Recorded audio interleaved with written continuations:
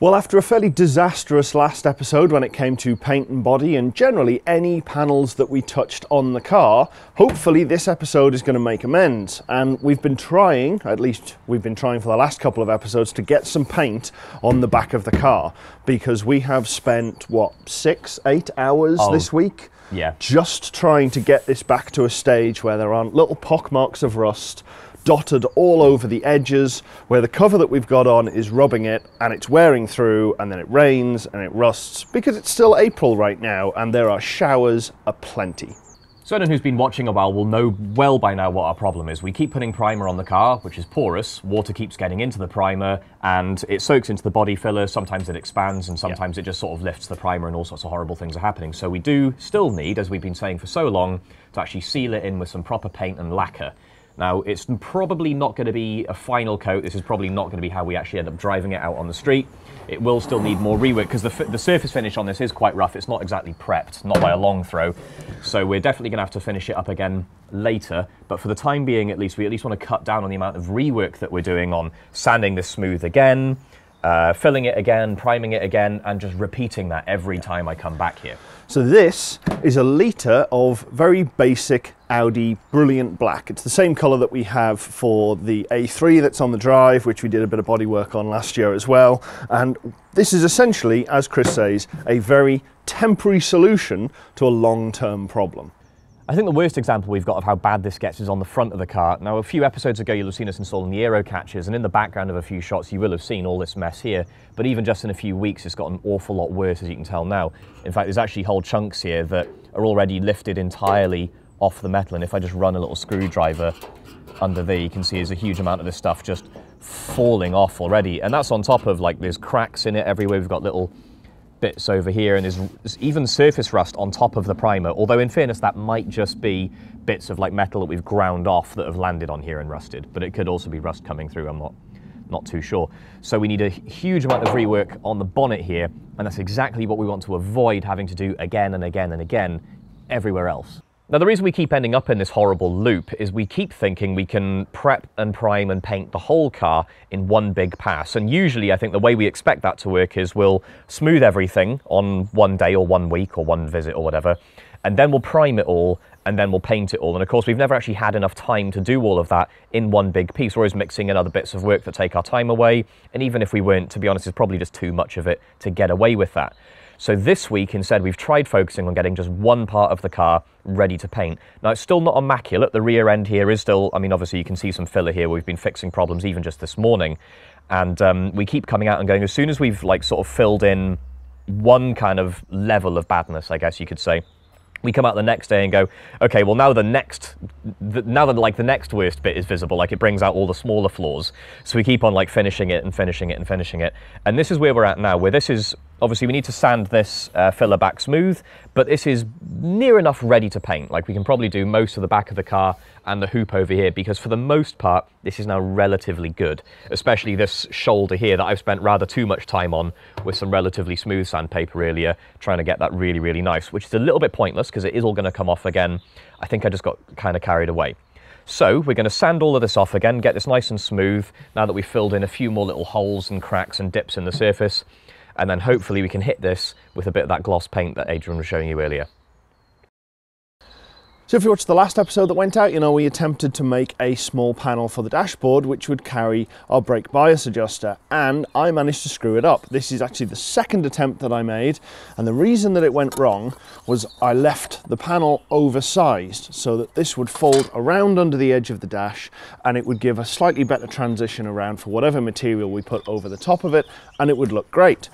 Unfortunately, when I then came to mark and drill the hole for the brake bias adjuster to go through and mount, I forgot to take this extra uh, little fold tab into account and I placed it really nicely equidistant between these two sides when actually it should have been further across to my left, your right. But that wouldn't have worked so that it actually would have had to sit further up so that it would be away from both the framework on the uh, on either of these two edges and still have room for the nut to fit onto the very back. So that was version 2. This is version 3. Version 1 didn't even get this far along. It was just the piece of metal I cut was far too small already and I mismeasured, so go there. So version 3, we've moved the brake bias adjuster even further across to this side because there is a very important piece of equipment I had forgotten to take into account and that is the light switch. Now the light switch is limited by the fact that the loom doesn't go very far from the fuse box where all of the wires go into and where the plug sits. On the right hand drive car, the fuse box sits just on the right next to the wheel and then the lights fit just in front of it. So the loom to that is very, very short because it just doesn't need to go very far. Now the downside with that, with extending it to anywhere else, is we'd have to extend 17 different cables that run through the back of this. And I absolutely do not want to do that. That is a miserable way to do it, considering the amount we've had to extend the loom already.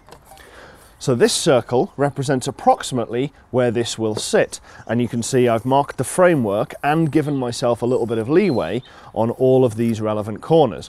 Now it does overlap a little bit. This circle is larger than that, but that represents approximately where the bezel will sit on the front that will hold this in. And we're going to be designing this fairly soon, probably on a live stream. So if you've already watched that live stream, congratulations, you know exactly what this bezel unit is going to look like. So from there, I've drilled the hole out so that it will actually fit the bias adjuster around all of the framework. Now I say this with a great deal of confidence. I haven't actually checked this yet. So you and I, once again, are going to go on a journey of exploration where we find out how badly I have made a mess of this. So we're back over on this side of the car and I've already noticed my first mistake. I've put the brake bias adjuster through backwards and this will never ever fit. And I've just managed to drop the nut as well. So we'll run without it for the time being. But basically this is meant to fit around this section.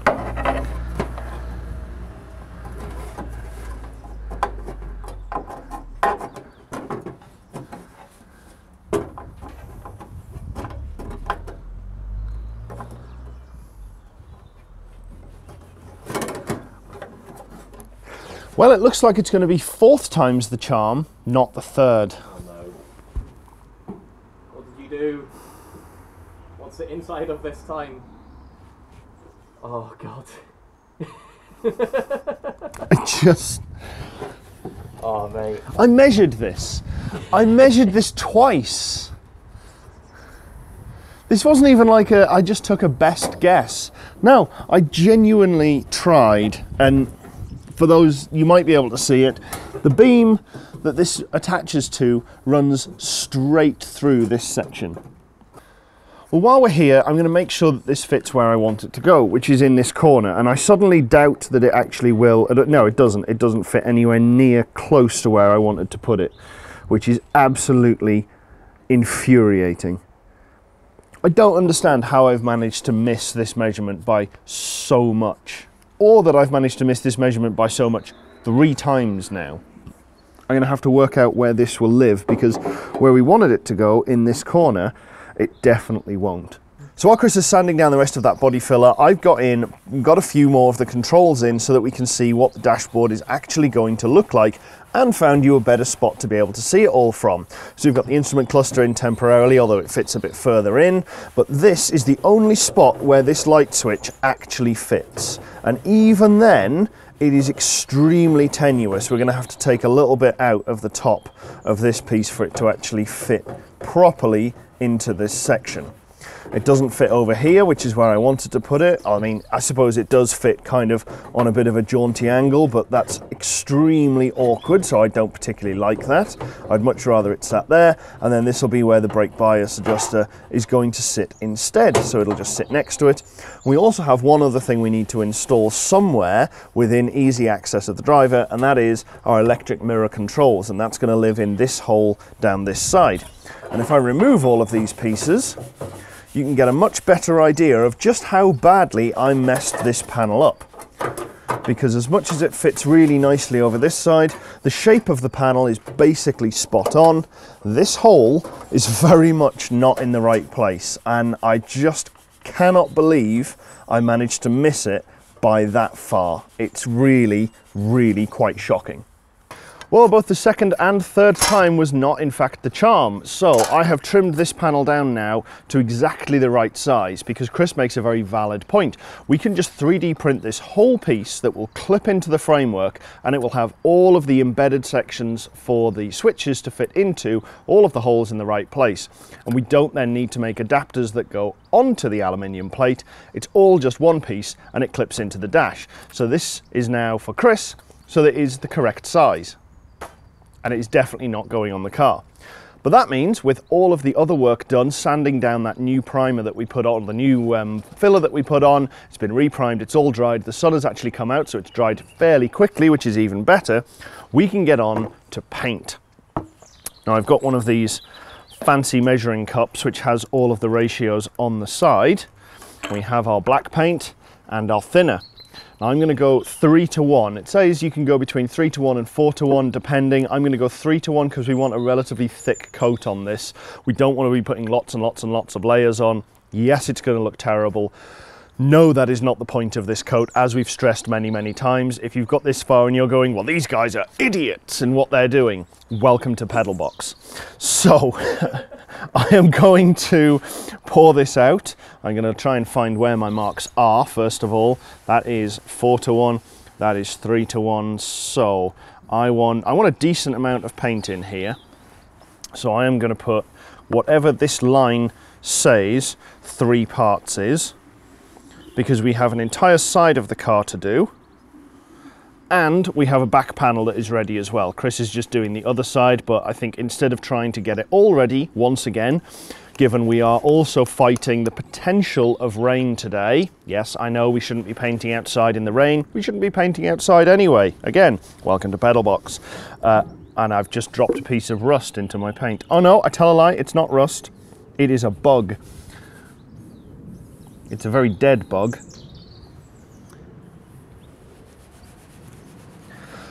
Once again, this is not how you should do paint. This is not how you should do anything around this. But that is now a three to one mix of paint to thinners. I need to put the lid on so I don't get another bug in. I can't quite believe that one managed to find its way directly into the cup. That is actually amazing, and it is precisely what we did not want to happen. Well, I've made sure to give this a really good thorough mix, but I think we are now ready to load this into the paint gun and we can start throwing this on the passenger side of the car. We also have the back panel ready to go as well, so that we can put that down with any excess we have left in this batch. So, wish me luck.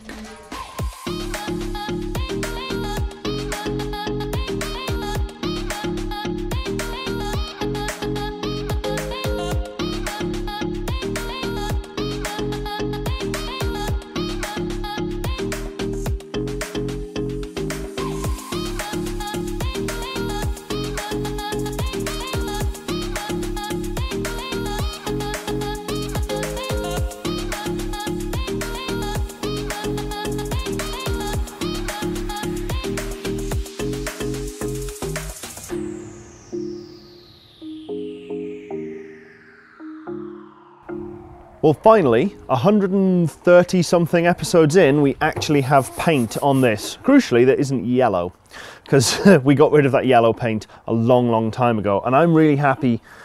I say I'm really happy with how this has turned out. It's, it doesn't look good. Yeah, I will go with it is better than we feared, not as good as we hoped. I Yeah. think is probably my the, be- the best way I can put it. Yeah, as expected, it is has highlighted every single imperfection in the primer, which we knew it would. Part of me wanted to put the paint on because it would show that up, so it will make life easier when we go over and we fill in gradually. But I don't want to do anything more on this for quite a while. This is a perfectly suitable paint job to get us through the IVA. Yeah, the reality is we're never going to get like an amazing finish out of this. I do think uh, this is everything it needs to protect it for a while. Yeah. It's only one coat each of uh, paint and uh, and lacquers. It's not a very thick, not a very hard wearing surface, but it's going to be enough to just keep the thing safe, keep it watertight. while we build the rest of it, while we get it through IVA and everything.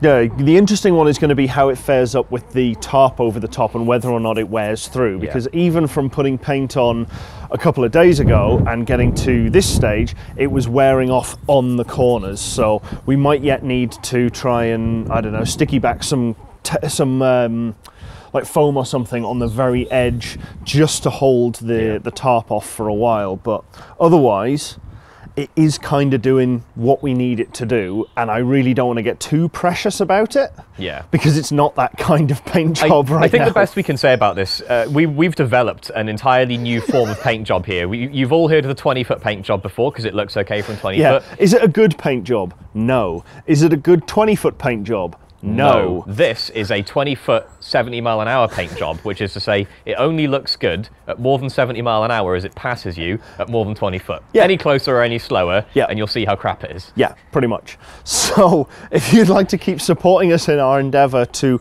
try and stop this thing rusting into the ground, or at least surface rusting itself away and continually going over and over and just feeling bad for the fact that we neglect it so much, you can support us at patreon.com forward slash pedalbox show, where you can support us from as little as a dollar a month, and you'll also get discount on merch from shop.pedalbox.show, which I'm not wearing. Well, no, I am wearing underneath this jumper, but you're not wearing. I am not wearing any pedalbox merch, Exactly. as usual. As usual.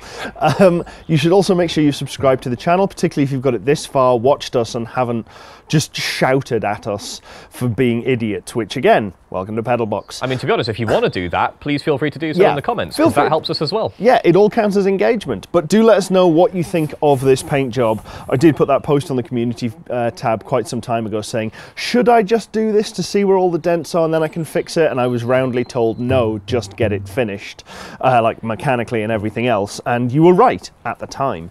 Now it's actually more prevalent. And I, Yeah. I think this has definitely been a worthwhile endeavour for a half day in the wind on a driveway I'll- to get to get it to where it is. I'll also say, to be fair, fixing all or finishing all of the mechanical stuff was always going to Yes. take so long that we were always going to have to do some paint anyway, Yeah. just to stop the body from disappearing. Yeah, Because we couldn't do all of the mechanical stuff. There's a lot that we could do. Yeah. But we couldn't do all the mechanicals until some body was on. Yeah. Um, and as soon as we had body on, it had to, like, at some point or other, it had to be protected from the elements. So The next big go. one, aside from getting the front to this stage as well, so that the front wings aren't going to disappear, but we need to do a bit more work on the window surrounds and a few other bits. So that's probably going to take a few episodes to get to to get the rest of it looking like this. But at least we can ignore this.